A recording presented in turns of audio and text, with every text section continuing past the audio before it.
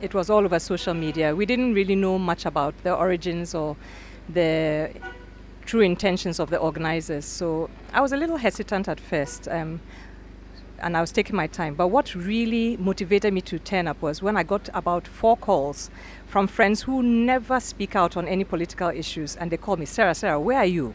Where you have to be here.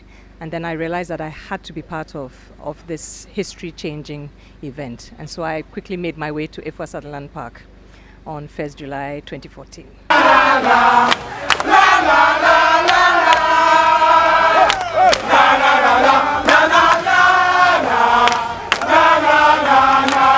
It was overwhelming initially. It was overwhelming to see the number of people who had turned out.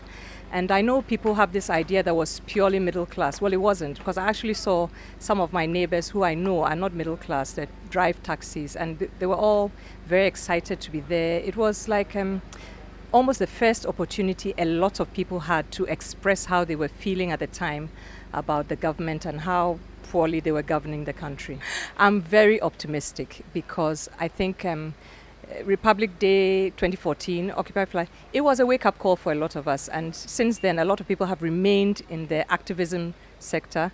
The ordinary citizen as well, uh, it was a wake up call. Also, the most recent election also empowered a lot of people to know that yes, you can change a government you are dissatisfied with through the ballot box without violence. So I'm extremely optimistic, but it will take all of us every day doing the right thing and keeping the government on their toes to get this country back on track.